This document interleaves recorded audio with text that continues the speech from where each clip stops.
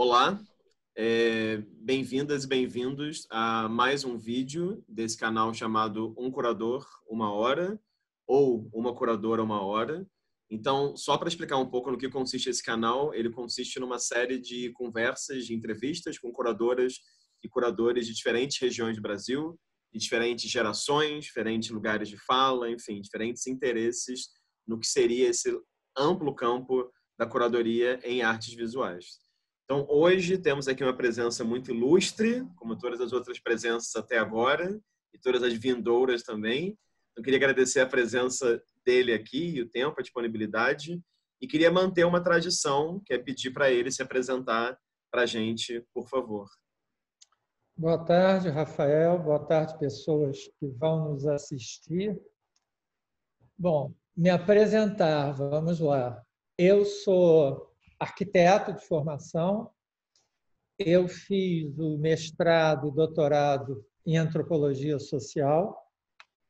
Na faculdade de arquitetura, eu fui aluno e depois assistente da Lígia Pape, e foi o que mudou a minha vida completamente.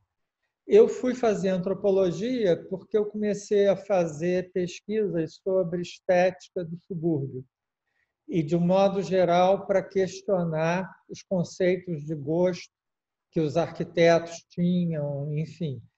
E, para mim, também parecia que o tropicalismo, as questões novas da, da minha geração, quer dizer, tropicalismo eu tinha 14 anos, era muito novo, mas andava sempre com gente mais velha e tudo, elas estavam ausentes da arquitetura. Então, a primeira coisa foi é esse trabalho de arquitetura popular, mas uma arquitetura muito criativa, muito pessoal, que tinha, a meu ver, muito mais autoria e liberdade do que a arquitetura que estava acontecendo no momento. Aí eu fui fazer antropologia. É, a ideia foi até da minha então namorada e parceira, Diná Guimarães, que fez os livros arquitetura Kit Motel comigo. É curioso, porque quando você está fazendo antropologia, eu fiz no Museu Nacional, é, antropólogo adora rito de passagem, né? Então, eu fui proibido de fazer qualquer trabalho sobre estética. Nem as, as capas dos meus trabalhos podiam ser bonitos. Então, eu estudei identidade étnica, estudei sistemas de parentesco, antropologia, teoria da antropologia 1 e 2. Agora, para mim, foi Foucault, Deleuze, foi muito precioso porque me deu um método de leitura e um rigor que eu não tinha tido na faculdade de arquitetura. Ah, no mestrado, eu fiz sobre a produção dos arquitetos modernos para a camada popular, e aí a ideia era examinar um momento de utopias, né, de utopias muito bem intencionadas e muito bem-vindas, mas que haviam fracassado, né? e até discutir se esse fracasso vinha porque a utopia era irreal ou porque nós estamos num país que destrói as utopias, né? o sistema destrói as utopias. Bom, aí eu era um antropólogo e eu fui para a França estudar com Pierre Bourdieu numa bolsa sanduíche. O nome é horrível, mas a bolsa é ótima, porque você vai no meio do curso. E, é, por sorte, ele estava é, tratando de pesquisa na minha área, que era patrimônio e tudo. E eu tive uma proximidade muito grande com ele. Então, eu comecei a estudar o nascimento do modernismo né, do, sobre os mais variados aspectos, contatos entre literatos, artistas, arquitetos, como essas mudanças interferiram na capital do Rio de Janeiro, como, porque na época se construiu mais no Rio de Janeiro do que nos anos 50 em Brasília. Nós só não percebemos isso porque são vários estilos. Né? Bom, então, quando eu voltei da França, eu até voltei com intenção de pedir uma licença do meu trabalho. Eu era arquiteto da, do IFAM, e, mas aí, para minha surpresa, eu uh, fui convidado para ser diretor por uma pessoa que eu admirava muito, que era uma antropóloga, Lélia Coelho Frota. E o dia que ela me ligou para convidar, eu estava até no chuveiro e eu depois liguei para ela. Mas nesse dia, o Lúcio Costa tinha ido me visitar no trabalho, que era ali onde tem o prédio das Docas de Santos, que ele tinha tido o escritório ali, e ele foi barrado porque ele não tinha documento. Uh, o Lúcio Costa realmente não andava com documento. Agora, você imagina um fundador do patrimônio, uma das pessoas mais interessantes que o Brasil já teve, era barrado. E eu aí, quando a Lélia me ligou, né, eu liguei de volta para ela, eu já sabia que ela ia ser presidente, eu não tive como negar, porque uh, eu pensei, bom, eu tive meu período de aprofundamento intelectual, agora eu não posso me recusar a botar um pouco a mão na massa, né? porque era uma espécie de tentativa de reconstrução do patrimônio, que foi extremamente complicada, né? era governo Collor, já era Rouanet, que era melhor, mas, enfim, era uma época muito complicada. E eu fiquei extremamente cansado de eh, eu trabalhava em Brasília de terça a quinta. Essa é uma história interessante também. Eu tinha voltado da França e eu tinha muita intimidade com Niemeyer. E quando eu fui nomeado, e a nomeação implicava de eu me mudar para Brasília, o Oscar me olhou, eu fui no escritório dele e falou: Você está maluco, Lauro? Aí eu fiz uma cara assim. Ele falou: Brasília é um horror. Brasília é uma cidade de funcionário público. É um horror, você não vai aguentar. Você faz o seguinte: o trabalho é bom, né? Ah, no IFAM é, Rodrigo, bom. Você faz uma coisa, você pede uma passagem de ida e volta por semana e continua no Rio. Eu sei que o que o Niemeyer me disse para pedir, eu pedi e me deram. Né? Então, eu fiquei nessa história agora, eu fiquei muito surpreso né, do Niemeyer me dar esse conselho. Olha, aquilo é um horror. Mas agradeço muito, porque ele tinha razão, e eu fiquei entre Brasília e Rio. Aí um dia eu acordei no meu quarto, mas eu não sabia que era meu quarto, porque eu viajava muito pelo Brasil inteiro. Eu sei que eu quis ir ao banheiro de noite e eu dei uma ombrada na parede. Aí eu fui quase dormindo, aí eu abri o olho e, para minha surpresa, eu estava no meu apartamento onde eu morava, no Leblon. Aí eu falei, tempo de parar, porque estou ficando estressado. Isso eu tinha 35 anos, 36. Né? E aí, no dia seguinte, é, é gozado porque as coisas aconteceram concomitantemente.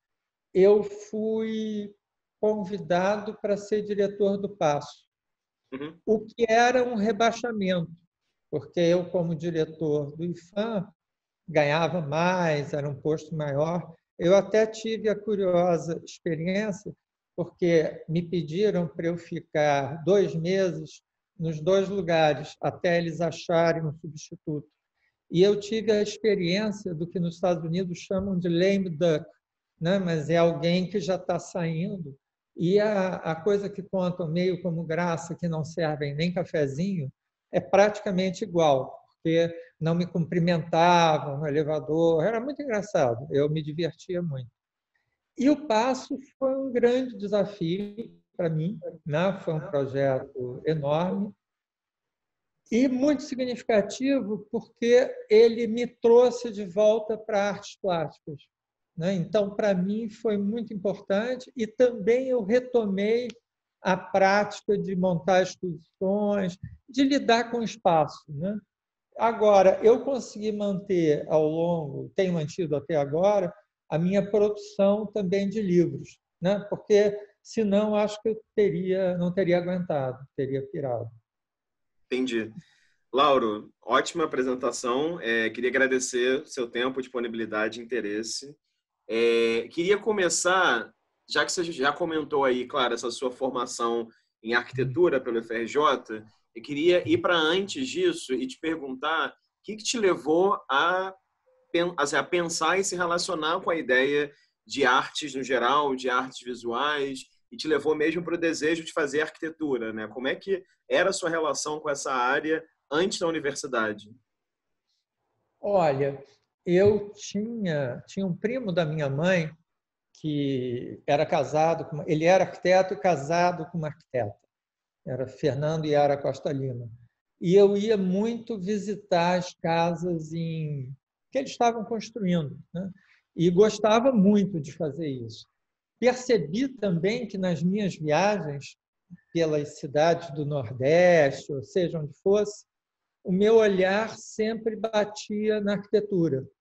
Né? Eu ficava muito interessado na arquitetura popular, na arquitetura erudita e tudo. E aí também, Rafael, eu te confesso que foi um pouco por exclusão, porque você, aos 18 anos, tem, tem pessoas que são vocações já definidas, né? Mas a minha não era. Né? Então, é, foi meio por exclusão e eu pensei também, arquitetura é legal porque tem um leque amplo. Né? Você pode ser teórico, você pode ser arquiteto de edifício, você pode ser planejador urbano, você, enfim. E, e aí entrei para a arquitetura. Mas os meus colegas eu adorava, nós fazíamos a faculdade era não era das melhores, mas o grupo de pessoas era. Então nós fazíamos pesquisa sobre Buckminster Fuller, que era um arquiteto da contracultura, né? Então nós de certo modo criamos nossos interesses, além de levar à faculdade porque a gente queria passar, né? Agora a Lijapap foi um vento bom que passou na minha vida. Eu tive a sorte de, no mesmo ano, ser aluno dela e do Frederico de Moraes. E, para mim, foi uma descoberta, uma epifania, né? porque era algo vital, era algo que levava em consideração o momento atual, experimentações, ousadias que na arquitetura não estavam acontecendo, né? E sobretudo liberdade, né? Quer dizer, um exercício, aquela coisa do Mário Pedrosa que todo mundo repete, mas exercício experimental da liberdade. Eu senti isso na carne. E a Lígia era uma pessoa que adorava dar aula, eh, diversamente de algumas alguns artistas ou curadores e tudo, que dão aula apenas para sobreviver, o que é muito válido, mas a Lígia ela fazia de cada aula um trabalho, uma instalação, né? e junto com os alunos. E isso, mais a base que o Frederico de Moraes estava dando, né? eu fiquei completamente encantado e aí eu fiz uma exposição no MANFA, uma exposição coletiva, que vários alunos fizeram, era cidade comentário, meu trabalho era uma foto em negativo grande de uma implosão em São Paulo, que foi o edifício Mendes Caldeira, e eu pedia que o Instituto de Arquitetos, era um abaixo assinado para o Instituto de Arquitetos dar o prêmio de melhor obra de arquitetura do ano a essa implosão. Né? Quer dizer, era, era algo muito iconoclasta, né? enfim. Que ótimo! E, e, é, e aí eu fiquei completamente mordido por isso. Trabalhei com a Lígia no projeto construtivo na arte brasileira. Foi ótimo, porque me cabia reconstruir os trabalhos que não havia mais, que tinham acabado, ou restaurar trabalhos que uh, estavam em mau estado. E com isso eu entrei em contato com todos os artistas neoconcretos e conversei com eles sobre o modo de produzir o trabalho. O único que eu não conversei foi o Hélio de Sica, que na época morava em Nova York, mas ele me mandava as instruções por telex. Aí nós íamos pegar e foi foi uma oportunidade rara. Nesse meio tempo, eu atuava como artista né? e eu uh, descobri que eu havia nascido no mesmo ano que o Museu de Arte Moderna tinha sido decretado órgão de utilidade pública. Uhum. Então, eu a pergunta, eu tinha 24 anos, a pergunta era o artista é também de utilidade pública, né? E eu comparava a minha vida com a vida do Man de um modo muito irônico. Era, não era a minha vida, era a vida de uma pessoa da geração, com tudo que havia acontecido, AI-5, movimentos barra pesada, movimentos bons também, mas eu fiz uma, sempre eram duplas, né? nas quais eu me lembro de uma, por exemplo, que era uma foto do John Wayne, que era descobriu que torcia para o lado errado nos bang bangs. Uh, o ano de 64 era um enorme cano que tinha ali perto da igreja de Santa Terezinha e era uma foto que meu pai tinha tirado, eu do outro lado, do, entrando num cano escuro. Aí o nome era Twist and Shout, que tinha a ver com os Beatles, por um lado, e por outro lado tinha a ver com o próprio regime. E eu, na exposição, eu propunha a implosão do Museu de Arte Moderna. E, de que maneira? Eu localizei os pontos chaves estruturais nos quais as dinamites deviam ser colocadas para que uma, né, enfim, ele uh, caísse meio em pé, né, preservando as colunas. E, e a proposta era o seguinte: era uma coisa geracional que era contra a explosão dos anos 60, terrorismo, jogar bombas. Eu propunha a implosão, que era o seguinte: era você limpar a instituição a partir de uma ação interna, de uma ação e implosão até em contra-psicanálise. Eu descobri isso depois, foi meio intuitivo, mas é um conceito do Ronald Lang que você, toda vez que você se muda profundamente, você implode, não, você implode as suas ideias.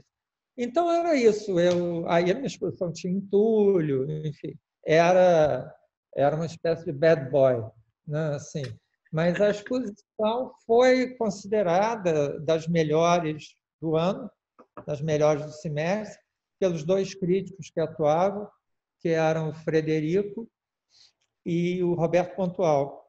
Agora, aí com Lígia, eu viajava muito. Era viajávamos quatro pessoas, Antônio Manuel, a Diná, que era minha namorada, e a Lígia. Íamos para Real do Cabo, a Lígia ligava assim: estou com delírio ambulatório, vocês topam vir?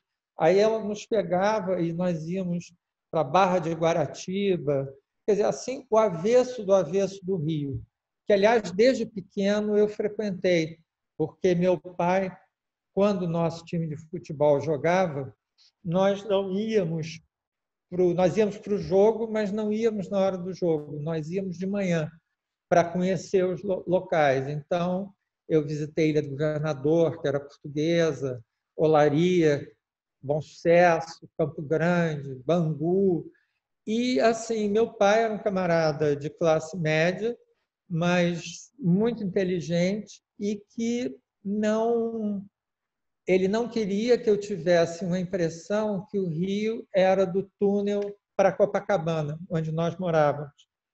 Então, eu agradeço a ele, a Lígia Pape, e a família da Dinati uma casa em Coroa Grande, que é o primeiro balneário da linha de ferro central do Brasil. E é, então, a partir daí, nós fizemos essa tal arquitetura que nós o livro chama Arquitetura Kit.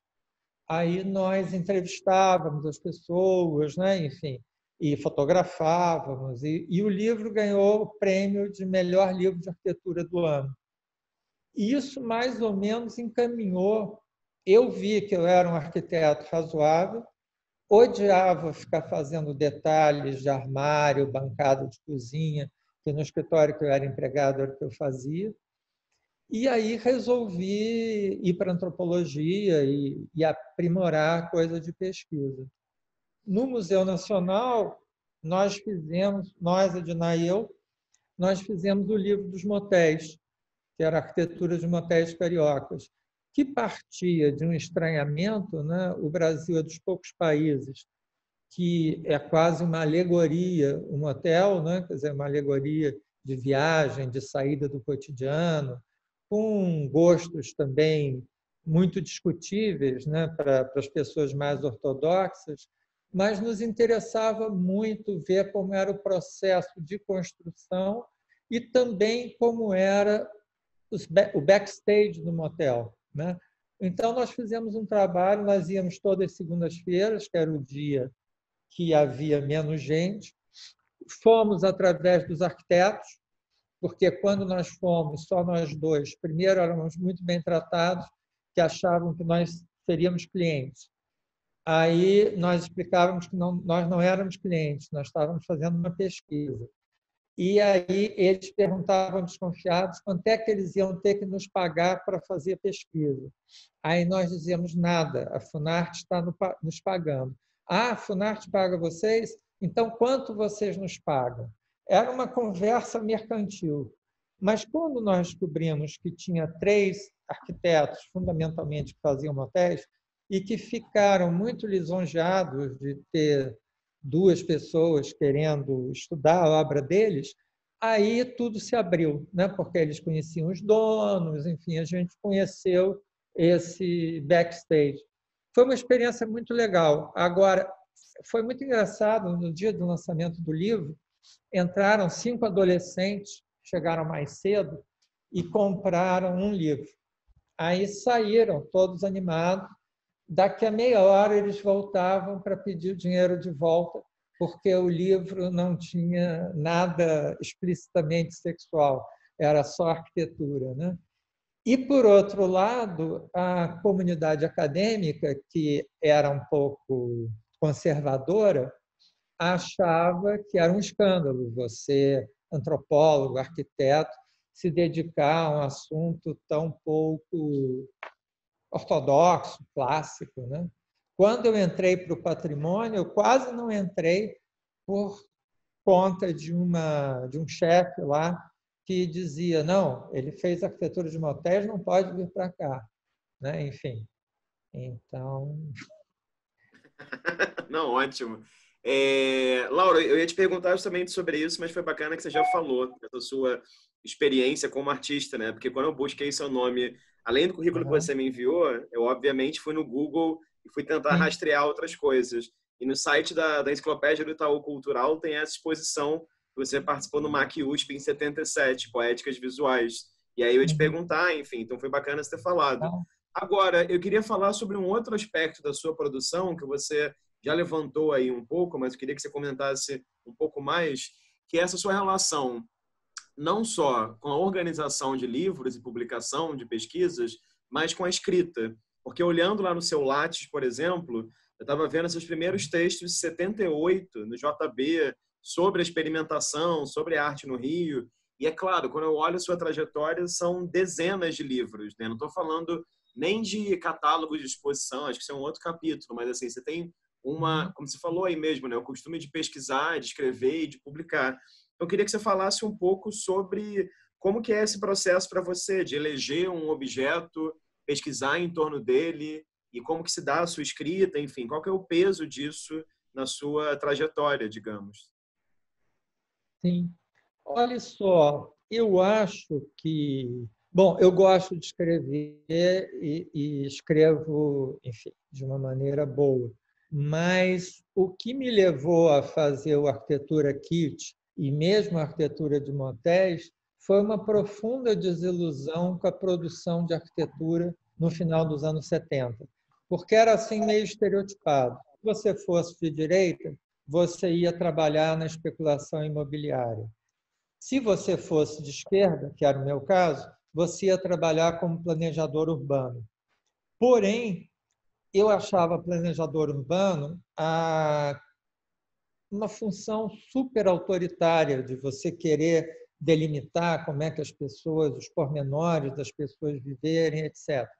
Então, eu rumei para pesquisa e para escrita, né, com, com esses livros. Eu tirava as fotos também, essa questão era visual, mas eu percebi que eu era mais efetivo escrevendo do que uh, era fazendo arquitetura. Eu fiz algumas casas para família, essas coisas, mas era um arquiteto correto, não mais do que isso. E escrevendo, eu achava que eu podia dar uma boa contribuição. E escrevendo, né, quer dizer, buscando na arquitetura, na forma das cidades, no modo que elas se constroem, não só a arquitetura, a descrição da arquitetura, mas a questão humana, né? a situação social, o que, que leva aquilo, os significados, etc. Aí eu fui convidado pela Maria Luísa de Carvalho, que era uma querida amiga e era editora da revista Módulo. Ela foi companheira do Oscar durante 25 anos.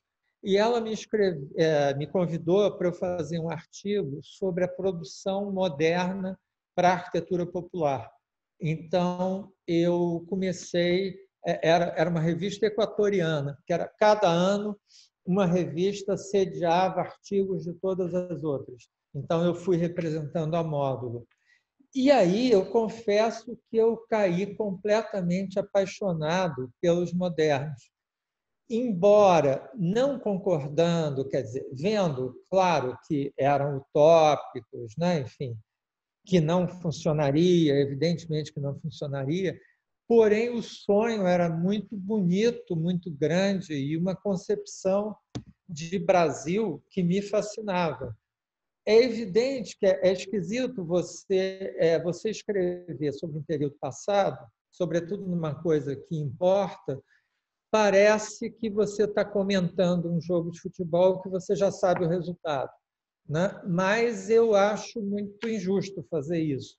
Então, eu fui pesquisar os modernos e fui pesquisar as correntes que se opunham ao modernismo. E, assim, os modernos não só eram associados a Gilberto Freire, Carlos Drummond, Manuel Bandeira, quer dizer, havia um desejo de, de progresso no país, no civilizatório, no melhor sentido da palavra, enquanto os neocoloniais faziam cópias apenas da, da arquitetura europeia né? e eram muito reacionários.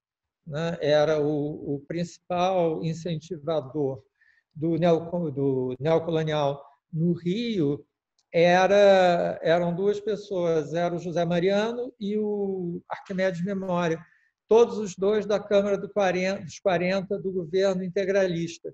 Então, eu fui começando a escavucar o que, que tinha de ideologia através, né, atrás deles e tudo. Então, dei esse mergulho no moderno, mergulho do qual eu acho que eu ainda não saí. Eu ainda eu acabei de escrever sobre uma correspondência entre Lúcio Costa e Le Corbusier. Cheguei a fazer uma exposição quando o Brasil era moderno, que era examinando o Rio de Janeiro em três períodos. Né? Um era nos anos 00, com Pereira Passos, a abertura da Avenida Central. O outro, que era um período de prevalecência, teve esse gesto moderno de abrir uma avenida, mas todos os prédios eram estilo eclético, né, antigo. E o terceiro momento foi a construção dos ministérios, que foi uma guerra de estilos no mesmo quarteirão. Né? Tem o, o MEC, né, que é um ícone da arquitetura moderna, tinha o Ministério do Trabalho, que se pretendia uma cópia de Art Deco americano, mas que teve o projeto, inclusive, interrompido ao meio, porque ele pressupunha uma torre. Mas, como era na periferia do Santos Dumont, isso se tornou impossível. E o Ministério da Fazenda, que é uma espécie de samba do arquiteto louco, né? porque mistura todas as épocas, tem uma inspiração nas estações de ferro italianas, porque o Mussolini falava que ah, a Itália era um país tão modificado que um trem não atrasava mais do que cinco minutos, era a eficácia. E era o Ministério da Economia. Então, eu, comecei a fazer é, não só análises arquitetônicas, mas análise de discurso, né? ver textos das pessoas e, e localizando. Até que o meu último livro, Solo, eu peguei isso tudo que eu estava escrevendo há muito tempo e escrevi uma ficção histórica. Eu conto essa história, mas de um jeito ficcional. que é bom porque você pega para uma Tarsila, personagem do livro, Le Corbusier, que vem do dirigível, né? o Vinícius de Moraes, eu pego diálogos né, entre o Marcos Rebelo e outro escritor, e são coisas que aconteceram. Né? O Vinícius era crítico de cinema, né, mas até do governo. Enfim, então eu fui armando, eh, eu provoco um encontro entre Stravinsky e Le Corbusier numa rua de Paris, eles se esbarram, e foi por pura intuição. Depois eu descobri que o Le Corbusier adorava Stravinsky, que foi a primeira primeira audição de um concerto importante do Stravinsky, e que havia uma identificação entre eles, inclusive porque o Stravinsky dizia que a música não quer representar nada, a música é música. E o Le Corbusier dizia arquitetura a mesma coisa, né? quer dizer, a arquitetura não deve simular nada, são volumes puros sob a luz. E é isso. E, e, e para escrever esse livro, eu me alimentei muito também de histórias pessoais que a minha avó contava sobre Copacabana. Era muito simpático, porque na hora de dormir é, ela me embalava é, contando como era Copacabana, como tinha um estábulo, né? isso em 1910, não sei o que lá. E, e eu fui absorvendo isso. Né? E a memória do meu pai também, que inclusive estava vivo quando eu, eu fiz. Então foi um jeito muito legal também de eu ter um assunto com ele que o entusiasmava. Né? Uhum, e uhum. eu gosto do livro, acho que eu acertei, acertei a mão. Daí, Lauro, é, como você está comentando aí, enfim, teve a graduação em arquitetura, o mestrado e o doutorado em antropologia social. Você, desde 84, né, trabalhava já no, no IFAM, né? Você começou em 1984.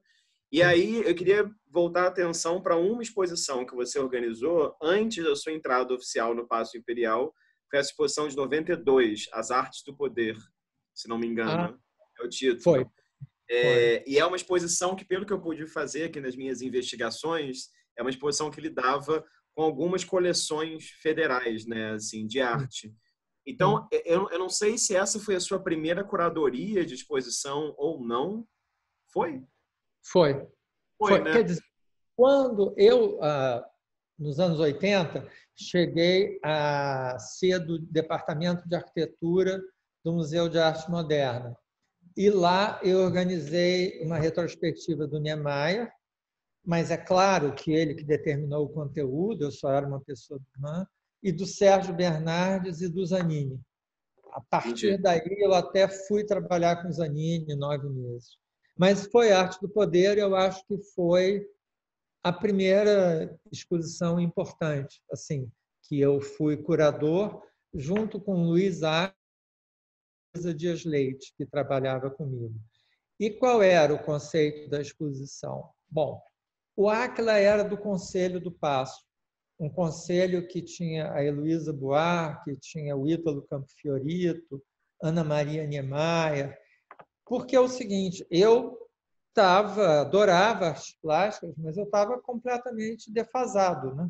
Nos anos 80, eu passei na antropologia eu sabia da geração 80, tinha uma simpatia longínqua, mas eu não conhecia. Né? E eu conhecia muito mais as instalações dos anos 70 para trás, né? enfim, Ciro, Barrio, etc. Mas aí o Aquila teve a ideia dessa exposição. E a ideia foi muito feliz, porque ele disse o seguinte: nas reservas técnicas dos museus há obras que não são obras magníficas, mas que são obras de afirmação da burguesia e do poder, tais como bengalas com decorações, quadros com certo estilo, espadas. Né? Então, nós percorremos as reservas técnicas do Museu Imperial, Museu de Belas Artes, Museu da República e Museu Histórico e fomos pegando o acervo. As pessoas de lá até muito desconfiadas, né, que a gente eles gostavam da gente, mas que é que esses caras estão, né? Porque não era a qualidade artística a nossa, nossa meta, era mostrar a arte como algo servindo ao poder, dando status né, e tudo. E descobrimos uma coisa que eu achei muito boa, que o Departamento de Parques e Jardins do Rio de Janeiro, pelo menos nesse na década de 90, tinha um departamento que chamava dos embustados. Os embustados eram bustos de personagens que tinham saído da história por algum modo e que aí eram iam para esse depósito e eles ficavam todos engaioladinhos. Aí nós enchemos o pátio do Paço Imperial com esses embustados, que era muito interessante porque era gente que caiu no anonimato, né? que que foi homenageado e depois caiu no anonimato. Alguns eles aproveitavam e faziam uma espécie de plástica para homenagear alguém mais recente. Mas um que não tivesse semelhança alguma ficava lá como embustado. Então, foi uma exposição que eu me orgulho muito, né? eu devo muito ao Áquila e Ana Luísa, foi efetivamente uma parceria. Né? Ah, infelizmente, nós éramos tão duros que nós não pudemos fazer catálogo, nem fotografar direito a exposição nós fizemos. Porque ah, nos anos 90, logo que eu fui para o Passo, é, havia muito pouco dinheiro circulando né, no setor de artes plásticas. Então, raros artistas tinham livre, livros, raras exposições tinham catálogo, né? e uh, o importante era fazer exposições. Né? Eu tive duas heranças muito boas no Passo. Uma foi a gestão do Paulo Sérgio Duarte, que foi uma gestão progressista e muito boa, e a outra era que o prédio estava muito bem conservado. Agora, fora isso, não tinha um tostão, a não ser para a preservação do prédio, o que já era muito bom. Mas nós, então, movíamos exposições né? E fomos, de certo modo, depois do espaço Sérgio Porto, o lugar de lançamento, de, eu não diria lançamento, mas fixação do nome, do prestígio de artistas que surgiram nos anos 90, tais como Ernesto Neto, Raul Mourão, né, Damasceno, Valesca Soares.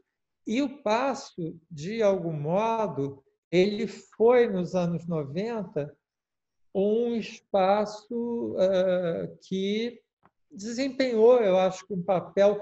É, os, os, artistas abraçaram um pouco o passo. Né? Quer dizer, nós fizemos uma exposição também a caminho de Niterói, que era uma exposição que mostrava o acervo do Satamini. O Museu de Niterói ainda estava naquela dúvida: constrói, não constrói.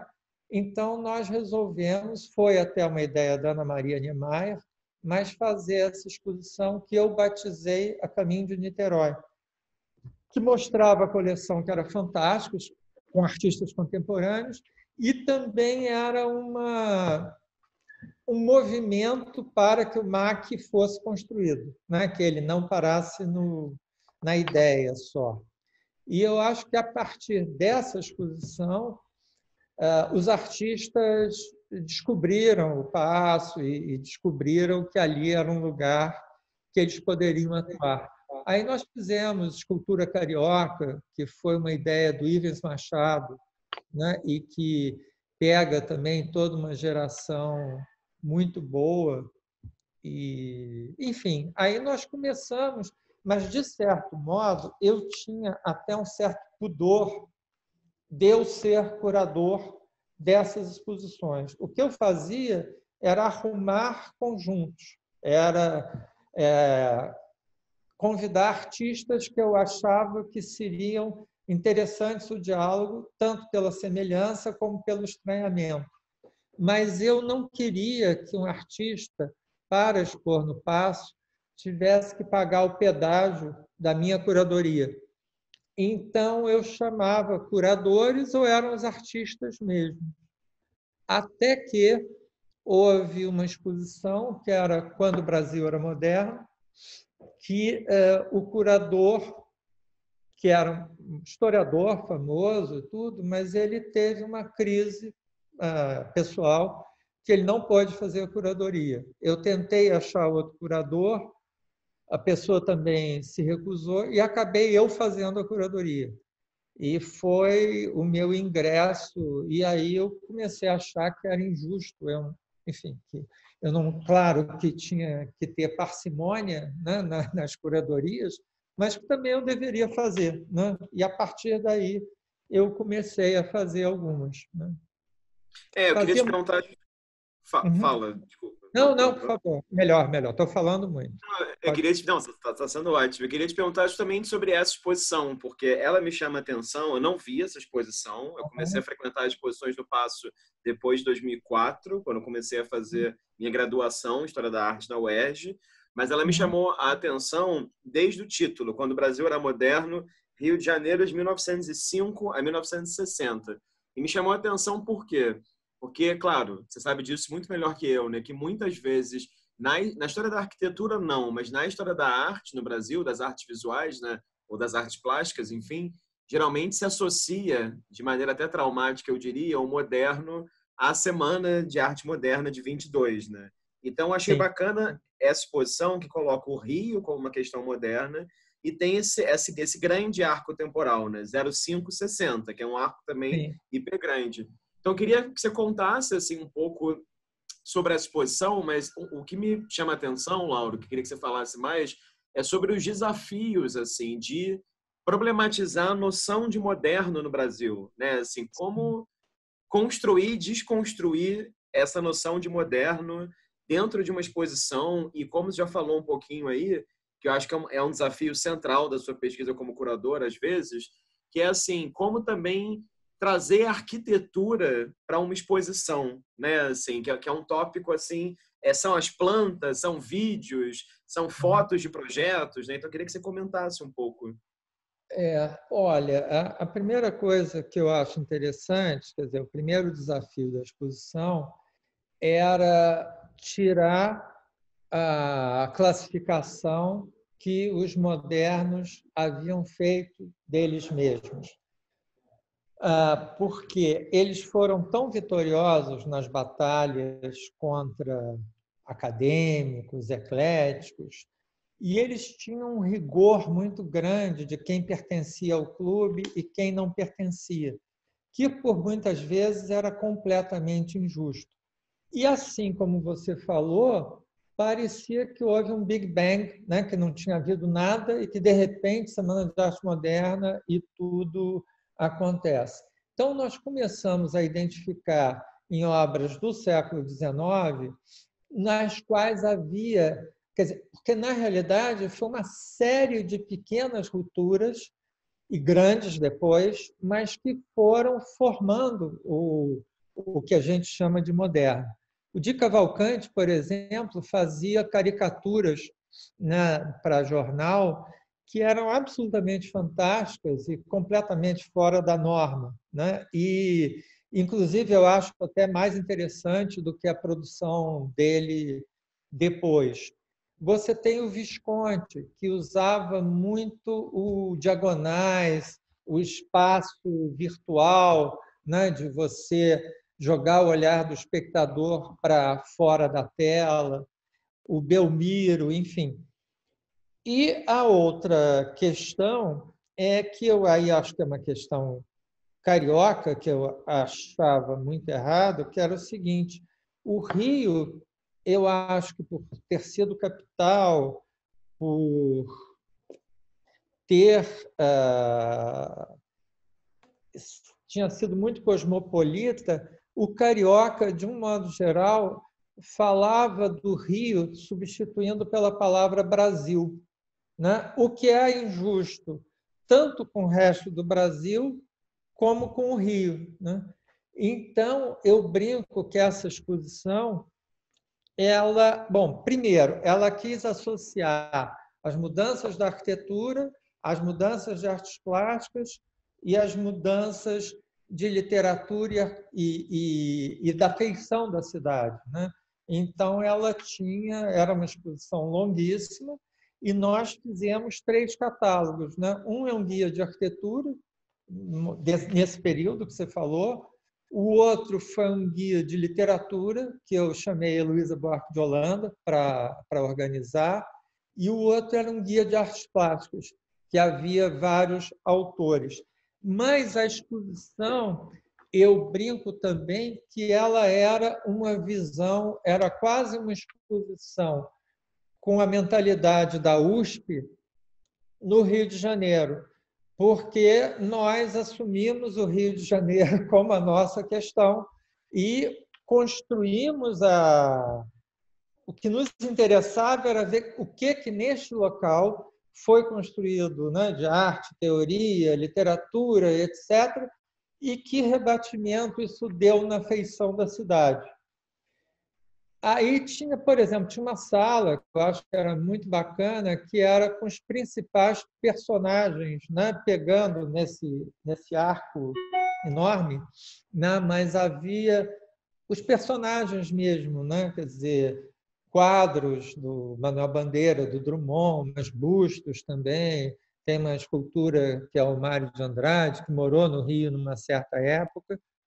Havia uma maquete que mostrava esse gesto, era quase que uma espada assim de Star Wars que passou pelo centro do Rio para fazer a Avenida Central, mas era esquisito porque se o gesto era completamente moderno, você tinha a Avenida Central feita através de concurso de fachadas. E as fachadas eram fachadas antigas. E que pouco importa, depois preenche, mas era, eram, eram fachadas.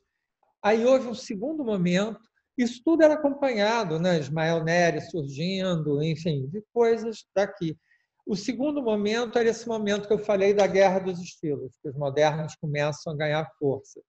E o terceiro momento era o momento do espelho de Brasília, do aterro do Flamengo, né? da, da noção do modernismo, que a história não é primordial, que os prédios devem estar no meio de gramados, né? luz, ar e verde, e que o aterro do Flamengo, né? que é maravilhoso, mas ele demonstra um pouco isso. Né? É uma espécie de vitória final do modernismo. Fica o centro do Rio do outro lado e no aterro essa concepção de grandes áreas verdes com prédios, jardins, mas completamente isolados.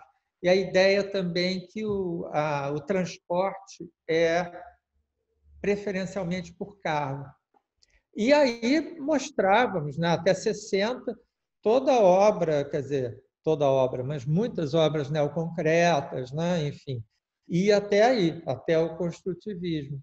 Mas nós procuramos resgatar muito uma década que a gente pode falar que era uma década perdida, que eram os anos 40, né? que, em geral, os, uh, os historiadores torcem um pouco o nariz e que, no entanto, havia coisas muito interessantes e, por fora, desconhecidas. Né?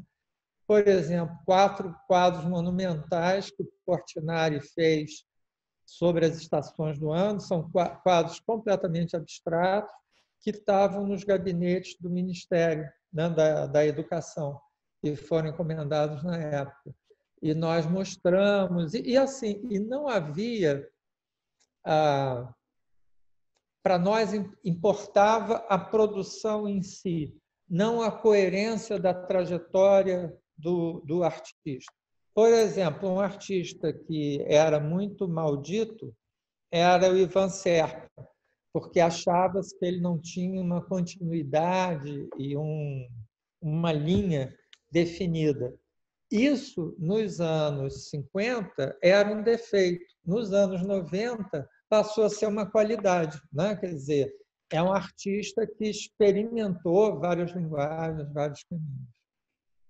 Não, é super interessante ver isso, porque eu acho que tem uma coisa que é peculiar na sua trajetória, que é justamente esse interesse pela história, né? Porque a gente sabe também que no Brasil, peculiarmente, tem aprendido isso nas entrevistas também, enfim, já achava isso antes, mas tem se confirmado quando entrevista pessoas, mas a maior parte dos curadores e curadoras lida quase que exclusivamente com arte contemporânea, né? Ou seja, a arte da sua geração, no caso da minha geração, por exemplo, eu estou aí no começo dos 30, o máximo, muitas vezes, que as pessoas se interessam é a produção dos anos 60, 70, e muitas vezes como um espelho de uma certa arte política jovem, enfim.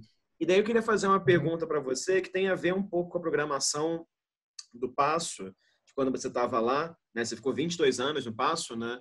E, e queria também e, e tenho a impressão que dialoga um pouco com a programação que você faz na Casa Roberto Marinho. E claro, é uma impressão. Se você acha que não tem nada a ver, você me corrige. É, eu acho que é bacana, porque me parece que, por mais como você falou aí agora, o Passo tem acolhido artistas, claro, como dessa geração do Ernesto Neto, Valesca Soares, dentre outros, eu acho que é muito bacana perceber também que me parece que nos seus projetos você sempre tem uma atenção especial com uma geração de artistas contemporâneos um pouco mais velhos, ou seja, é, a Lígia Pape e a Teteia no Passo, ou a exposição do Roberto Magalhães, que eu vi, ou mesmo a exposição 10-100 do Niemeyer, ou mesmo agora, como você acabou de me falar, antes de a gente começar a gravar, desse projeto na Casa Roberto Marinho, né? do Vergara, do Roberto Magalhães e do Áquila também, se não me engano. Né? Então, eu queria que uhum. você comentasse assim, um pouco é, como que é essa noção de contemporâneo para você e como também é a sua relação com uma geração hiper jovem de artistas, se você acompanha ou não, digamos assim, artistas ali nos seus 20 anos, no começo das suas experiências institucionais. Sim, olha só, eu acompanhava muito mais quando eu estava no Passo, porque o Passo tinha um compromisso desse diálogo da vanguarda com a história que é uma proposição modernista, né? de você, que os modernos que fundaram o patrimônio. Então, eu tinha uma atenção voltada muito mais forte do que tenho agora ah, para assim coisas novíssimas. Né? Eu procuro ver, mas eu não vou atrás. Por exemplo, como eu ia, ia fui ao ateliê do Jarbas Lopes. O Jarbas ele foi praticamente descoberto por mim. Ele fez a primeira exposição no Passo, que, aliás, era uma maravilha. Ele e a família com trouxas na cabeça, indo para o Passo. Ah, só o transporte já era uma performance. Agora, é, tinha artistas, para mim, Ivens Machado, que é um artista maravilhoso, mas que não estava no mainstream, né? e que nós fizemos uma exposição. Porque, assim, em geral, o, o ambiente de arte, não vamos falar nem mercado, nem instituições, ele tem muito interesse pelos novíssimos e os mais velhos, ou eles viram estrelas né, incontestáveis, ou então eles são esquecidos. Né? E, então, no passo, eu me lembro, citar dois exemplos. Uma foi a Ione Saldanha, que estava completamente esquecida, uma artista magnífica. Né? E nós fizemos uma bela exposição dela, que eu acho que atraiu muita atenção e deu um, um foco né, das pessoas na, na, na, obra dela. O próprio Ivan Serpa, nós fizemos uma retrospectiva lá. A Luísa Carvão, né, que uh, também. Né, e nós tínhamos um projeto que era legal, era Ateliê FINEP que nós chamávamos artistas, misturando gerações, e esses artistas faziam de um determinado espaço o ateliê deles, com a concepção de ateliê que eles tinham na cabeça. Né? Quer dizer, eu não forçava, mas algum, a Luiz Carvão, por exemplo, transferiu o ateliê dele literalmente para o passo. Outras pessoas, o ateliê está mais dentro da cabeça, né? faziam propostas, enfim. Eu acho que foi uma coisa muito dinâmica. Mas eu fico, às vezes, Rafael, pensando assim: que contribuição eu individualmente posso dar né, para esses trabalhos que eu faço? Bom, primeiro, eu sou um cara completamente engajado na recuperação do Rio de Janeiro. Né? Eu acho que é uma questão fundamental e o passo eu tinha muito sentido também da articulação com outras instituições, né? Da, a gente criou um ônibus que saía do passo, ia até a Casa França Brasil, CCBB, depois ia até o MAN, passando pelo Belas Artes. Esse é um ponto, né? Eu chamei primeiro foi uma era um advogado que foi trabalhar comigo para a gente é, conseguir ultrapassar as leis engessadas de serviço público.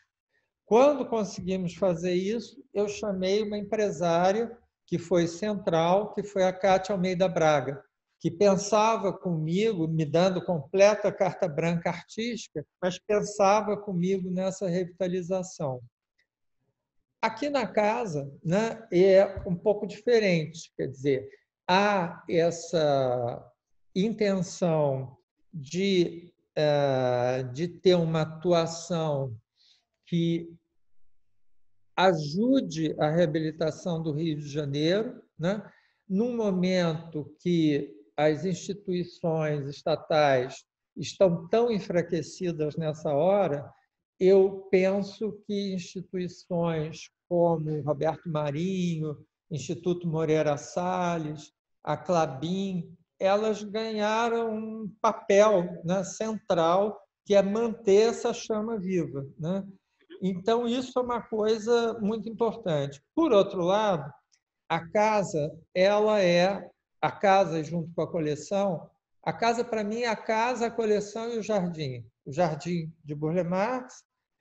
A casa, uma casa neocolonial, que na época, que era meados dos anos 30, era uma novidade, porque as pessoas só construíam em romântico, gótico, e ela é uma casa interessante, gostosa. É uma... Eu acho que o neocolonial se perde muito quando faz coisas monumentais, mas em média e pequena escala é interessante.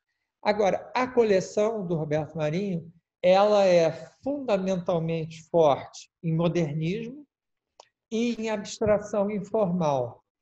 Aí, abstração informal caiu em desgraça né? nos anos 50. Ah, os progressistas, quem era de esquerda, achava que a arte era abstração construtiva e geométrica. E a abstração informal seria ligada ao mercado, aos, ah, à elite, né? e tinha, inclusive, um preço muito mais alto. Mas isso foi completamente embaralhado. Esse fla-flu não faz sentido mais. Né? Então, nós fizemos uma exposição que acho que foi bem legal, com o de São Paulo, de uh, juntar as produções de arte abstrata informal, que vem até Beth Jobim, Tiago Rocha Pita, com Mel que escorre da parede, né? enfim. Então, tem essa pegada. Por outro lado, ela é a casa do modernismo brasileiro. Por quê? Se você quer ver a produção moderna, isso até quem falou muito, fala, é o Paulo Sérgio Duarte. Quando ele quer mostrar arte moderna, ele não tem muito aonde ir levar os alunos, porque mesmo aquelas instituições de arte moderna apresentam mais arte contemporânea e a arte moderna fica mais no acervo. Então, eu achei que criar mais uma instituição sem um perfil definido, apenas por criar, não era bom. E então nós pegamos né, essa questão de você poder ver a produção moderna largamente. Né? A gente fez uma exposição da Djanira, fez uma exposição de dez artistas modernos, que cada sala era uma individual. Porque, assim, você me perguntou antes qual é meu conceito de contemporâneo. Para mim, contemporâneo é tudo que nós olhamos hoje. Né? Tem uma. Tudo que nós olhamos passa a ser contemporâneo. Né? E então você ter. Eu, eu, por exemplo, uma artista que eu insuspeitaria, Vânia Mignoni, que é uma artista que eu adoro, ela falou que Pansetti era o artista predileto dela, mas que ela nunca tinha visto tanto Pansetti quanto aqui.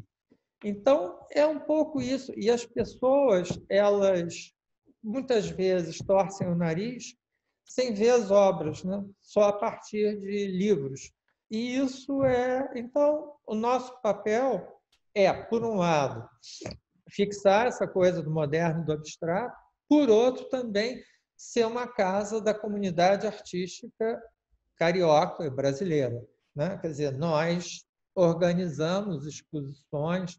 Essa exposição Livros e Arte, ela reúne o Zerbini, o Antônio Dias, o Pedro Cabrita Reis, o Ferreira Goulart, a Wanda Pimentel, o Krasberg, o Léo Batistelli, o Paulo Klimachowska, e eu não sei se eu esqueci do Zerbini, que talvez seja a sala até mais bonita. E embaixo nós fizemos o seguinte, eu fiz muitas entrevistas também que não eram live, mas durante o primeiro período da Covid. E vi que muita gente estava produzindo. Então, eu peguei três artistas, né, Vergara, Áquila e o Roberto Magalhães, e no TER estamos mostrando essa produção da quarentena, e na última sala você tem todas as entrevistas que nós fizemos, mas com QR Code. Então, você, com o seu celular, você vai direto para a entrevista. E é, eu acho que uma demonstração da vitalidade da arte e cultura, como é que elas nos ajudam a passar por momentos difíceis e como elas são essenciais para a vida humana. Né? Ótimo, ótimo. É, queria, é, já que a gente está falando sobre essa questão do, do moderno, é, uhum. eu queria pedir para você comentar sobre dois projetos que você fez, que são, claro, é, é, versam muito sobre modernidade e sobre modernismo também, e que eu acho que são bem exemplares de sua trajetória, que, claro, né, a exposição do Roberto Burle Marx 100 anos, no Passo, uhum. premiadíssima. Uhum. E uma outra exposição que eu tenho até o catálogo aqui, que eu não vi, mas eu uhum. estudei essa exposição, ah, tá. né? É Razão Ambiente, porque na minha tese de doutorado tem uma parte dedicada ao Riposatev do Lúcio Costa, enfim. Então comecei, a gente remontou. Ótimo Hã? você, ótimo você ter selecionado Razão Ambiente, que é uma exposição que eu tenho muito orgulho, né? mas que foi pouco vista. Né? Ela não, não foi muito badalada, como a do Roberto foi, né? por exemplo. É, queria que você comentasse esses dois processos, assim, porque um é um processo uhum. de pegar um artista genial, extremamente uhum. profícuo, como Burle Marx foi, né? que fez de tudo um pouco, né? assim, acho que Sim. vão inventar alguma coisa que ele não tenha feito né? enquanto era uhum. vivo, e a outra é de criar um diálogo a partir de três arquitetos também muito peculiares, né? E aí, mais uma vez, né, como é que você lida com uma produção absurda como a do Burle Marx e faz uma seleção? E como é que você pensa a noção de ambiente nessas três figuras, né? Lúcio Costa, Nina Bobardi e o Sérgio, é, Sérgio Bernardes, isso. Então, eu queria que você comentasse assim um, um, um, um pouquinho, porque eu acho que Razão Ambiente também tem isso que eu falei antes, esse desafio de tornar a arquitetura presente, né, palpável, até literalmente, no caso do Riposatev, para o público, num museu Sim. tão peculiar também, que é o Museu de Arte Moderna de São Paulo. Né? Porque, Rafael, vamos combinar, exposição de arquitetura pode ser a coisa mais tediosa do mundo. Né? Ela pode ser uma exposição de você querer cortar os pulsos ou sair correndo se você faz uma exposição de plantas, de cortes, de vistas, né? uma exposição de arquitetos para arquitetos. Eu acho que é inútil, né? porque é muito melhor você pegar um catálogo, né? uma publicação, e você estudar. Então, eu acho que uma exposição de arquitetura, primeiramente, ela tem que ter uma emoção arquitetônica, né? ela tem que ter uma emoção de espaço é claro, você não vai conseguir representar a arquitetura, mas você pode representar uma intenção plástica importante. No Quando o Brasil era moderno, né, só voltando um pouquinho, nós fizemos um móvel que eu acho que tinha 30 metros, que era um móvel que era a curva do pedregulho, né, é, pendurado por cabos de aço. E dentro dos módulos, que virou uma prateleira quase, mas com brise soleil, que interrompia, você tinha maquetes de, sei lá, acho que 30 obras-primas da arquitetura carioca. Mas eu acho que tem que ter esse drive de espaço. Mas Burle Marx.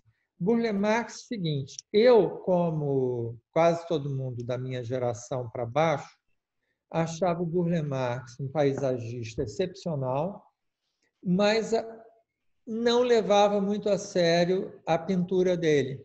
Né? Eu achava quase que era um pintor de final de semana. Até que eu organizei uma exposição da coleção Roberto Marinho, no Passo, e fiquei completamente boquiaberto com um quadro dele que é é bem maticiano, mas é uma parede azul caiada e um vaso de flores e, e uma resquício de cidade. Aí eu tive uma epifania de Roberto Burle Marx. Eu falei, poxa, esse cara é um, é um excelente pintor, né? Ele foi aluno do Guignard e do Portinari, né? E o que dá uma síntese boa. Aí eu comecei a pesquisar. Bom, imediatamente eu chamei o Áquila, que é uma pessoa que é uma pessoa que gosta muito da produção dele, e a Janete Costa. E aí nós começamos a conversar sobre o Burle Marx. E eu vi que era totalmente inseparável a obra, porque primeiro eu queria fazer uma exposição só de pintura, né? realmente só de pintura. Mas aí vi que era completamente inseparável o paisagismo da pintura, se misturavam. Né? Então, foi uma pesquisa grande. O Áquila, a Janete, infelizmente, adoeceu no processo, mas o Áquila, a Alice Olivieri, que é minha assistente, e eu, fizemos o seguinte acordo. Uh, os quadros só entrariam aqueles que nós três gostássemos unanimemente, e um tinha direito de contrariar os dois é, num quadro. Né? Então, foi feita a exposição com rigor realmente muito grande. E eu acho que demonstrou que você consegue reunir um trabalho dele de primeira linha né, a partir uh, de uma seleção. Né? E, e essa nós fizemos também, o, o escritório do Burle Marx, o Haru Yoshi Ono, ele projetou o pátio interno do Paço como um, jardim do Burle Marx, né, um jardim provisório, e foi incrível, porque assim começaram a aparecer pássaros, né? quer dizer, mudou o, o microambiente do Paço. E tinha um, uma obra, que eu acho das obras mais fantásticas de arte brasileira, que é uma tapeçaria que ele fez de 26 metros, que fica na prefeitura de São Bernardo. Né? E é, um, assim, é uma coisa avassaladora, de escala, de proporção, de cores e tudo. Então, é, essa exposição tinha muito esse pique né, de transportar a pessoa para o universo dele. Essa exposição foi legal porque ela foi aqui no Rio, depois ela foi para o MAN de São Paulo, depois ela foi para Berlim e depois foi para Paris. E então circulou bastante. Esse ano que vem nós vamos fazer uma em 2021 uma exposição junto com o Instituto Burle Marx e a Casa Roberto Marinho de trabalhos inéditos do Roberto, porque eles transformaram o escritório em instituto e estão pesquisando e preservando, com a ajuda do Instituto Moreira Salles, ah, todos os desenhos, o processo de desenho, as escolhas de cor, e tem coisas absolutamente surpreendentes e bonitas. Então, em julho, nós vamos fazer uma exposição é, é também o ano internacional da arquitetura, né? vem 70 mil arquitetos, se o mundo virar a ser normal, aqui. E tem o jardim do Burle Marx, né? quer dizer, aí a gente não precisa nem construir o jardim, que o jardim já está. Mas uhum. você me fez outra pergunta que eu esqueci. Ah, não, eu pedi para você falar sobre razão e ambiente também, isso. Razão e ambiente, Rafael, foi uma coisa curiosa. Foi uma havia uma exposição sobre ecologia francesa é, feita pelo Instituto Francês de Arquitetura, que era uma exposição com uma pesquisa muito boa, mas organizada por pessoas que acho que não têm a menor noção do que é uma exposição, porque eram textos caudalosos, né, com fotografias pequenas, naquele espaço maior do, do MAN de São Paulo, né, e que era uma exposição impossível de você era uma questão de ler em pé. Ninguém vai ficar lendo em pé duas horas, três horas, né? E não tinha o menor charme. Aí eu resolvi, eu era conselheiro do MAN nessa época. E é, o Felipe Chamovitch, que era o curador, me deu um desafio que era fazer uma exposição que abrangesse a questão da ecologia de um modo mais amplo, de um modo cultural também, e numa tradição brasileira inovadora. Então, eu peguei o Lúcio, né, o, a Lina e, e, o Sérgio Bernardes, e nós fizemos painéis enormes, dizer, era como se você entrasse dentro de uma casa da Lina. Né? Você tinha o desenho, a perspectiva, do Lúcio também e do Sérgio. E fazendo conexões entre eles, que nunca tinham sido feitas. Né? A, a preocupação do Sérgio Bernardes com a invisibilidade da arquitetura, que foi uma coisa que no período final ele se dedicou muito. Então era era uma arquitetura quase invisível que não tocava o solo. O Lúcio sempre com esse diálogo, né, história, futuro, né, e também com uma preocupação ecológica. E Lina nem se fala, né? porque eu acho até que ela foi a arquiteta moderna brasileira, junto com o Dr. Alcides, da Rocha Miranda, que mais prestaram atenção à produção popular. Né? Ela tem um estudo sobre design popular, sobre reaproveitamento de de árvores em esculturas, replantio, enfim, acho que fez um trabalho hiperconsistente. E eu fico muito feliz que você tenha estudado essa exposição. É uma exposição que eu gosto mesmo. Não, eu estudei porque no MAC Niterói, enfim, além da minha tese ser sobre as redes de dormir, né, no doutorado, que gerou aquela uhum. exposição Vai e Vem, que teve no CCBB, uhum. a gente no MAC Niterói remontou também o Riposatev, né? Então a gente obviamente, olhou outras é, remontagens. Agora, uhum. já que a gente está falando sobre essa exposição de três é, arquitetos, queria te fazer uhum. uma pergunta aqui, já caminhando mais ou menos para o nosso fim, que uhum. era é, como que a sua formação de arquiteto influencia, digamos assim, as suas opções expográficas? Porque eu tenho a impressão, vendo os seus projetos no Passo, eu vi a exposição do Bon Marx, por exemplo, e vendo uhum. os seus projetos na Casa Roberto Marinho, que tem uma certa elegância, vou usar esse termo, sei que não é a melhor palavra, tá? mas tem uma certa elegância em como você pensa a montagem. Ou seja, você está lidando com arte moderna, é, você está lidando com uma tradição né, histórica do cubo branco, de uma certa montagem clean, digamos assim, né, de espaço entre as obras e tal. E me parece uhum. que, de certa maneira, você responde a isso, a sua maneira, mas de certa maneira você não desconstrói isso também. Vou fazer uma uhum. aproximação aqui, tá? A maneira como eu vejo suas exposições coletivas não é como eu vejo a ideia de exposição coletiva do Paulo Reckenhoff, que é uma, né, uma proliferação de imagens. Você tem, às vezes, uma luz laguna, eu nunca esqueço disso, na briga do terreno, a seis metros do chão, né? Assim, você fica vendo a luz laguna assim. Então, eu queria te perguntar como é que você, que lá atrás, né, como você falou ainda há pouco, estudou o kit como é que isso tudo, de certa maneira, te influencia e faz você pensar a expografia como você pensa hoje em dia? É, Para mim, é completamente indissociável uma curadoria de bolar o espaço, né? de organizar o espaço para isso. Vem tudo meio junto e eu não consigo. Eu não vou me lembrar que exposição, mas houve uma exposição que falaram: não, pode deixar que a tipografia nós fazemos. Eu falei, olha, não é possível. Né? Eu realmente quero seguir até o final, porque as coisas estão ligadas. Né?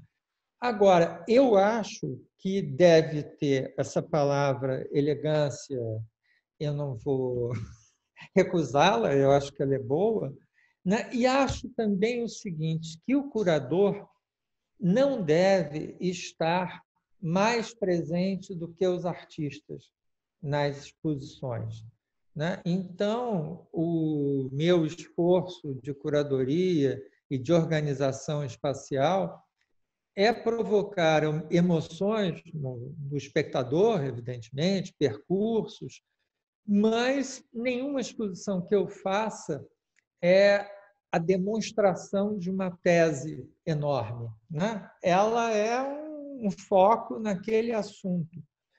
E, e por isso o tom, né, que eu acho que, quer dizer, o tom das minhas curadorias, eu sempre quero que elas sejam assim quase bossa nova, né? Enfim, e deixando os, ah, as orquestras wagnerianas para os artistas, né?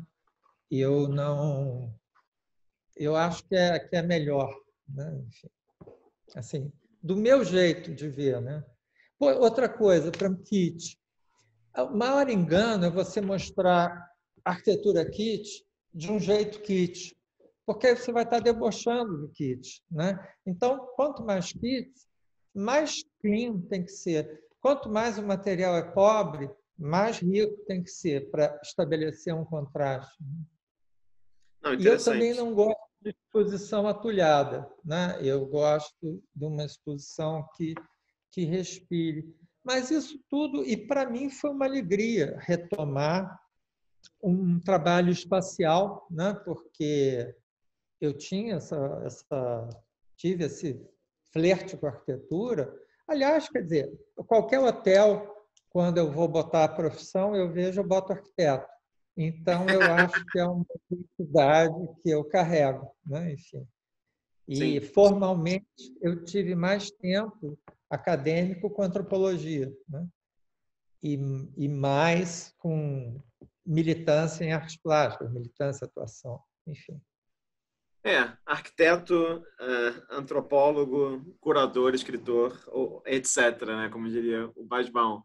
É, eu, eu, ia te fazer uma pergunta sobre, sobre, a casa Roberto Marinho. Né? Você comentou tão bem aí desses desafios, essa relação com, com a coleção, é, que eu acho que eu nem vou te perguntar, porque eu te pedi para falar um pouco como que é lidar com uma coleção, porque, claro, a sua primeira curadoria, né, as Artes do Poder, ela lidava com, com coleções também, né? E claro que a coleção Roberto Marins fez algumas exposições com ela já, e agora você está coordenando né, essa distribuição dela no espaço, projetos interinstitucionais. Enfim, eu te perguntar sobre isso, assim, como que, é, quais como é que eu posso dizer isso? É, vou usar esse termo assim, quais os prós e os contras de se ter uma coleção, né? Assim, a sua, a sua disposição numa instituição é, jovem, digamos assim. Sim.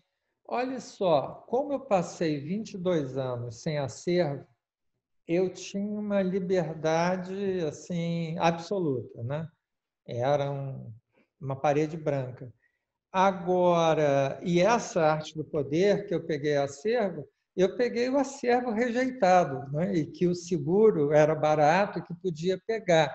Então, foi uma coisa que essa ideia original foi do Áquila, que eu abracei, fizemos juntos, foi muito legal. Aqui na casa, ter a coleção, para mim, é muito legal. É muito legal no sentido de que eu tenho alguma coisa para oferecer, eu posso fazer parceria com instituições, como nós fizemos com o MAN de São Paulo, no caso né, da arte abstração, que ganhou também o um prêmio da PCA. E, é, e é curioso, por exemplo, Paulo Venâncio e a Márcia Mello fizeram uma exposição aqui recentemente, que infelizmente a Covid pegou no meio, mas que foi o duplo olhar, que eles comparavam fotografias com pinturas. As pinturas todas eram nossas. E eles não escolheram nenhuma obra que eu já não tivesse mostrado nas exposições anteriores. No entanto, foram tão recontextualizadas que é, deu outro olhar. Né? Quer dizer, eu acho que sempre há essa possibilidade. Eu estou muito curioso com um projeto que nós estamos começando, que é o seguinte: eu chamei cinco artistas contemporâneos para cada um fazer um trabalho que se relacione de algum modo com peças da coleção ou uma peça e que ah, cada um faça a curadoria de uma sala, né? da sala onde vai estar o seu trabalho e também a, a sua seleção, seja por afinidade, seja para estabelecer contrastes, seja para uma crítica. Né? É, eu acho que, que a coleção te possibilita esses muitos caminhos. Né? Enfim. E, e a gente, quer dizer, eu é, eu, eu sou que nem um menino guloso numa loja de doces, né? Enfim, com, com a coleção. Os artistas, vou te falar porque são legais. O Valtercio Caldas, Antônio Manuel, Beth Jobim, Cristina Canali e um que eu me esqueci, mas que eu já lembro. Ah, Raul Mourão. Raul Mourão. é, foi, bom ter lembrado para não levar. É, mas é que o Raul tem me dado bolo, ele marca de ver o espaço, não aparece.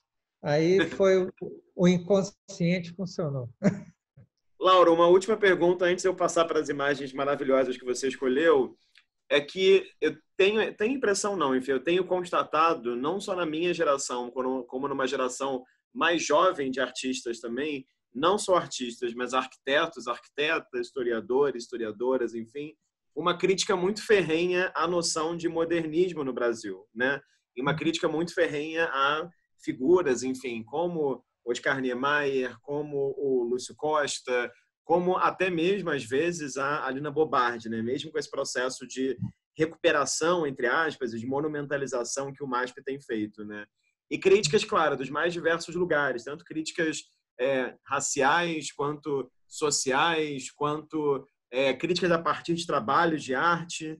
Então, eu queria só te perguntar, assim, como que você acha que se faz possível estabelecer um olhar crítico para essa produção toda dessas pessoas, né? Assim, como que como qual o lugar do curador nesse sentido também, né? Tanto de prestar uma homenagem quanto também de olhar para uma produção e falar, não, mas espera aí, né? Isso aqui realmente é problemático, né? O que, que você acha disso? Como que você se coloca nesse lugar? Não, eu acho que isso é muito saudável, né? A primeira incursão que eu fiz com o modernismo chamava Casas para o Povo e eram os projetos modelares e, a meu ver, autoritários dos arquitetos modernos lidarem com as camadas populares.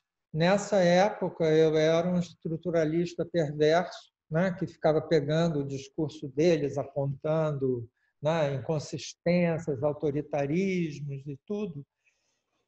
E, enfim, até gozado que essa tese foi recusada por uma editora porque dizia que era muito irônica em relação aos modernos. Né? Houve um, uma tese em São Paulo de um professor que rebatia, é gozado que rebatia me dando razão, porque ele dizia assim, mas eles acreditavam na mudança da sociedade através da arquitetura. E eu acho que sim, eles acreditavam, né? Eles acreditavam, mas isso era um reducionismo arquitetônico, né? Você não pode apostar que mudando a arquitetura, que o problema é espacial no Brasil, não, o problema é social, é humano, é médico, é econômico, né? Então, eu acho que os modernos tiveram um projeto muito lindo, né? era outro momento no Brasil, era um momento que a categoria futuro existia, né? então havia uma crença, é, uma categoria que para nós né, morreu completamente. Né? Agora, acho que tem muita coisa, sim, autoritária, tem muita coisa que é pouco funcional, tem muita coisa que é mais para a glória do arquiteto do que para o público. Agora, acho também que ah, você tem que comparar os modernos com a produção com a qual eles estavam lutando e revolucionando. Né? Porque aí é, a noção de país, a noção de sociabilidade, de arte pública, né? Aí você vê o quanto eles foram progressistas para a época. Eu vou dar um exemplo fora da arquitetura: Gilberto Freire. Gilberto Freire é um autor que muitos consideram reacionário, que faz uma visão idílica do Brasil. O Gilberto Freire entra num cenário da sociologia brasileira que apoiava políticas de branqueamento estatal, a importação de pessoas para miscigenar de um modo mais clarinho do que o português.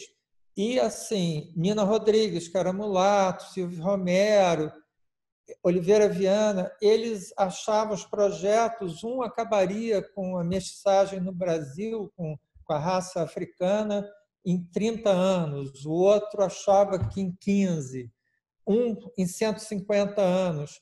Então, era uma coisa tão absolutamente reacionária, racista, que o trabalho do Gilberto Freire, naquela época, ele foi completamente revolucionário. Né? Agora, ele é, não dá para você julgar com os parâmetros de hoje, né? você pegar uma análise do discurso com os seus parâmetros de 2020 e botar nessa régua, né? porque aí é fácil. Né? Você ah, agora, acho, acho que sim, acho que também é importante não endeusá-los, não, né? A minha vontade de quando eu fiz quando o Brasil era moderno foi assim: espera aí, eu quero ver como é que era quando a gente dava certo. Isso é, produzir uma boa arquitetura, para ver se, se nós, se é possível, retomar algumas dessas coisas sem a ilusão ideológica, porque eu acho que a, a ilusão ideológica é muito ruim, né? quer dizer, você fazer projetos normativos para camadas populares. Numa determinada época, as camadas populares sofriam com uma ditadura de direita do, dos militares e com uma ditadura cultural de esquerda dos arquitetos querendo mudar a vida deles. Né? Então, acho que isso é muito ruim. Agora, acho que tem muita coisa boa. O que eu procuro sempre é ficar nessa, nessa dialética. Né? Agora, eu estou com um projeto que é anterior até aos 18 graus, que é de fazer uma ficção sobre Brasília. Eu já escrevi 13 capítulos e que tem muito a ver com a minha infância também, né? porque é nos anos 60 e tudo. Agora, a realidade está virando tão absolutamente absurda que o, o meu, a minha pobre ficção, ela está ficando muito açucarada. Então eu agora estou vendo um jeito de, enfim, de tirar o açúcar da ficção. É, exatamente. Lauro, você trouxe três imagens, né? Uhum. É, eu queria que você comentasse por que você escolheu essas três imagens começamos com essa figura aí à nossa frente. Sim. Olha só, a minha formação, eu ia ao Teatro Municipal todo sábado com meu pai, o que eu devo muito, porque eu gostava de música erudita e tudo, mas num determinado momento a música popular me pegou assim de uma maneira visceral né, como algo de inovação, rebeldia, união de erudito com popular, né, aquela coisa da massa ainda de comer os biscoitos finos que fabricam, né, do Oswald. E o Bob Dylan, né, para mim, é o ícone disso. Né? É uma pessoa que juntou uma sofisticação intelectual enorme ousou sair da casinha do folk e do violão acústico para entrar no rock, mas não como uma concessão, mas aproveitando a força do rock. E o Bob Dylan é, eu acho que ele é um poeta de todas as épocas. Né? A mais evidente é a época de protesto, mas se você pega os projetos dele de meia idade, eh, agora de velhice, né? Eh, um disco que eu acho, tem gente que acha o melhor disco dele, eu talvez, eu não sei, é um, um dois, mas que é Sangue nas Faixas, né? Blood on the Tracks, que é uma, um disco todo feito sobre a separação dele da Sarah.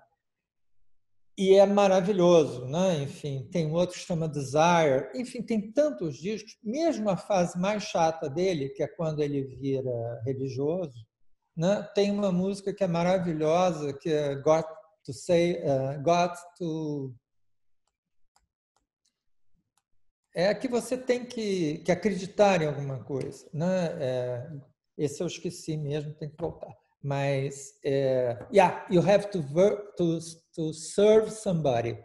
É esse o, o que é uma, um rock magnífico. Por acaso, ontem eu vi. Então, eu tenho uma admiração intelectual enorme por ele. Tenho um agradecimento fantástico, porque eu acho que ele propiciou que Caetano Veloso surgisse no Brasil. Eu hesitei entre colocar a foto do Caetano, que para mim foi um guia assim na, na minha adolescência pequena, né? Muitas coisas, inclusive, eu procurava partir de dicas do Caetano em entrevistas e tudo, né? Eu acho que Bob Dylan sofisticou os Beatles, né? Ele tornou os Beatles adultos, né? Nos encontros deles na Califórnia. Então, é isso. E acho que é um cara fiel a ele mesmo, né? quer dizer, que ele se reinventa, né? ele vive se reinventando. Mesmo muitas vezes reinvenções que eu não gosto, mas, por exemplo, o disco dele cantando músicas do Sinatra, é muito interessante que ele fala: eu tenho consciência que eu ajudei a destruir o Frank Sinatra, mas agora, na verdade, eu quero construir o Frank Sinatra o disco só te faz ter vontade de ouvir o Frank Sinatra, porque com Bob Dylan não é grande coisa. Mas essa liberdade eu acho fantástica. Eu acho que é uma liberdade que o artista deve ter. Ótimo, muito bom. Vamos aqui para a sua segunda imagem, então. Olha, eu sou um camarada completamente cinéfilo. Né? Eu sou daquelas pessoas que eu posso ir na, Estação Botafogo, num cinema de duas às quatro, depois pegar a sessão das quatro às seis. E, e a minha cultura, ela foi muito, muito musical e cinematográfica, e a partir daí literária e de escrita. Mas, primeiro, né, o, o meu grande impacto foi cinematográfico. E eu via de tudo: via de filme de Hollywood, né? enfim, é, filme boçalzinho, filme melhor e tudo. Mas tinha um cinema que passava filmes de arte, passava Bergman, Fellini. E o Fellini me impactou profundamente como uma, um autor completamente original que cria um universo dele que tem a ver com o universo de cada um, mas é muito particular que usa a, o inconsciente como uma matéria tão importante quanto o consciente, e, além do que, os filmes são, na sua maioria, uma delícia, né? são emocionantes. Eu estou me lembrando, por exemplo, do filme dele, é, que ele faz um episódio, é um filme que chama Boccaccio 70, e uhum, cada né? E ele faz aquele é um enorme anúncio com a Anitta Ekberg anunciando leite, né? E tem um cidadão que fica pequenininho, né? E é filmado perto da Universidade de Roma e tem uma musiquinha, é bebam mais leite, beber pilate, beber pilate, que é e, e todo o reacionarismo, né, da Itália, a sedução, a tara, né, aparecem ali. Oito e meio é uma maravilha, né? É uma maravilha. Então, é assim um, uma cachoeira de maravilhas e de visões de mundo, né? Ele faz experiências com psicodelismo, né? Que também são são muito interessantes e faz também no início da carreira uma crônica de uma cidade pequena, provinciana e do desejo das pessoas de saírem da cidade, que é um tema clássico, né? É o tema de Balzac, das ilusões perdidas, né? enfim. E ele, é, eu acho, assim, e eu venho lendo na, na pandemia, eu li compulsivamente os livros dele, livros de entrevistas e os livros de autobiografia. Eu hesitei um pouco entre botar o Buñuel ou Ingmar Bergman, mas eu preferi o nosso amigo. Ótimo. E aqui? A Teteia, né, da Lígia Pape, que eu fiquei até assim porque você pediu para serem coisas externas a mim. Né? E essa é meio externa, porque isso foi feito no passo. Né? E foi, eu acho assim, que ela tem uma noção do país que ela vive, da precariedade dos meios e da maximização do uso dos recursos de uma maneira maravilhosa, né? assim, de uma maneira que cria algo que outros artistas né, no hemisfério norte, para criar uma emoção parecida, têm um apoio da tecnologia gigantesca. Aqui são meros quadrados no chão, né? os fios partem dos lados desse quadrado para uma seção quadrada no teto e uma iluminação forte que dá efeitos e que é completamente cinética à medida que você vai entrando. Essa exposição, ela foi uma das exposições, mas a principal que me deu mais tristeza de desmontar, né? eu tive muito impulso de propor que ela ficasse permanente no Paço Imperial. A Lígia, quando fez essa exposição, ela já estava bem doente. Então, ela do hospital via os vídeos que a Paula Pape fazia, né? e aí ela ia, enfim, eh, corrigindo as, as posições, etc. E a Lígia, para mim, quer dizer, foi uma pessoa fundamental na minha vida, né? Enfim, minha, eu tô nessa encrenca toda por conta dela. E, uhum. Então tem e acho uma artista extraordinária que que talvez ainda não tenha sido tão vista quanto merece. Né? Claro, concordo totalmente, assim. E, e claro, não deixa de ser uma homenagem a ela. E acho que é bacana também pensar como a sua seleção, diferente de vários outros curadores que eu entrevistei, foi muito vasta, né? Cinema, música, Pape, coisas do Brasil, coisas que não são do Brasil. Então isso é muito bacana, porque esse momento de compartilhar as imagens também tem isso, né? Muitas pessoas por ser né, um canal com entrevistas com curadores brasileiros ou que residem aqui, se restringem ao Brasil, né? Então foi muito bacana ver essa sua composição. É, Lauro, antes da gente se despedir e de eu te agradecer muito, eu quero fazer aqui a nossa pergunta surpresa, que é o uhum. seguinte: é, a cada sete curadores que eu entrevisto, eu mudo a pergunta. Você está sendo o curador número 60 que eu entrevistei aqui Uau. no. É, é, não sei quantos serão, mas cedo eu entrevistei a 59 e ela falou quantos são. Eu falei, bom, não sei, mas já foram 60. É um trabalho inestimável, eu acho, né? de registro. É. Então, a pergunta é a seguinte: queria que você me relatasse, ou, enfim, citasse, na verdade, você que sabe, uma viagem que você fez e que você acha que mudou a sua maneira de pensar a curadoria ou de fazer curadoria, né? Uma viagem que foi um divisor de águas, digamos assim, para você. É, eu, eu vou pedir para botar duas. Uma foi a minha primeira ida à Tate, né, Tate Modern, né, que foi assim uma maravilha, né?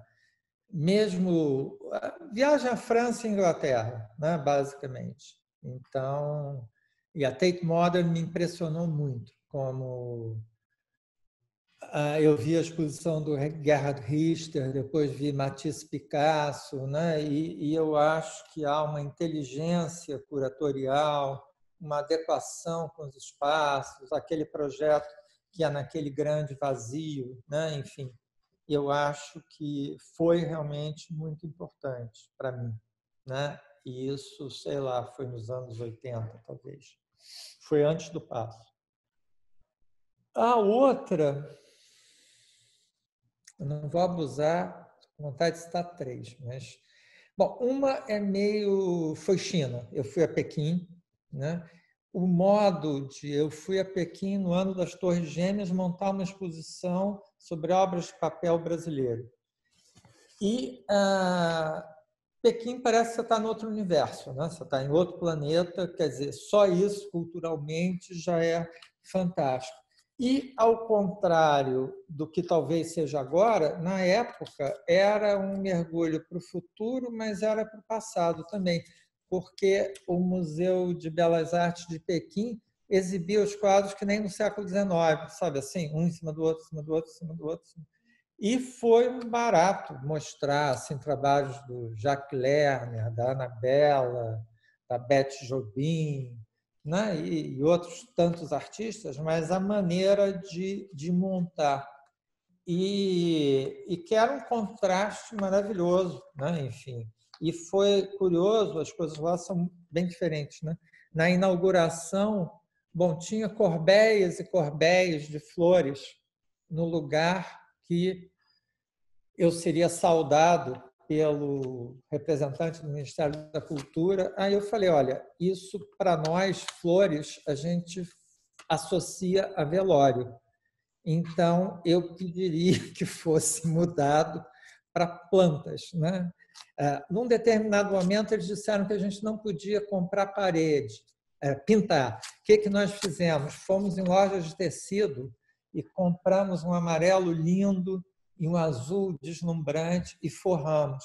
Então, foi um desafio tão grande né? e um contraste que, que foi assim realmente muito legal.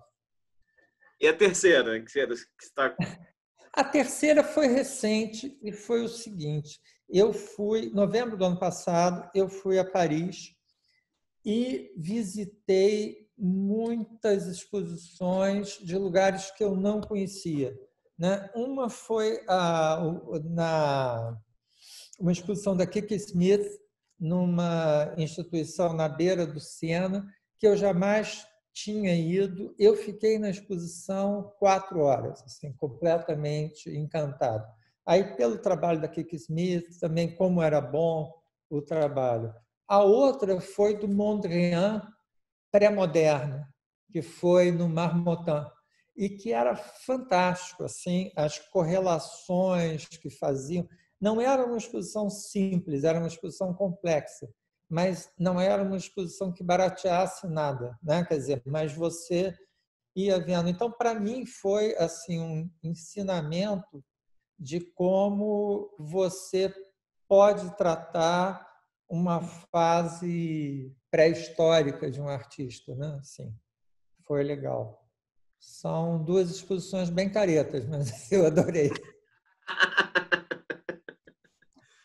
Lauro, queria te agradecer muito o tempo, a disponibilidade, o interesse aqui em dar essa entrevista. Queria dizer também que, enfim, acho que a gente nunca trocou pessoalmente. Eu acho que eu lembro de te ver assim à distância. Acho que a gente nunca nem foi uhum. apresentado assim, trocou uma ideia. Então, realmente foi muito bom conhecer mais a sua trajetória e pesquisar antes, e aprender agora te ouvindo.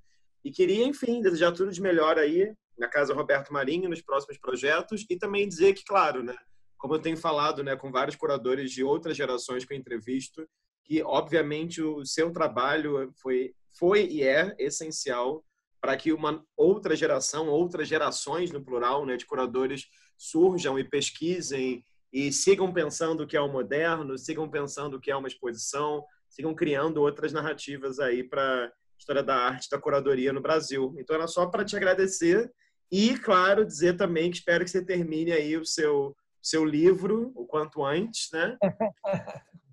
E é isso. Sim. Obrigado por tudo. Olha, eu que tenho que agradecer. Foi ótimo e diálogo fantástico e foi muito prazeroso. Bom, então, para quem assistiu essa entrevista até aqui, essa foi uma conversa com o Lauro Cavalcante, curador, que vive no Rio de Janeiro. Então, fica o convite, caso seja a sua primeira entrevista desse canal, a verem outras entrevistas, outras histórias, memórias, projetos, é, e, enfim, vidas, trajetórias de curadoras e curadores desse país tão louco que é o Brasil. Então é isso. Obrigadíssimo e até uma próxima.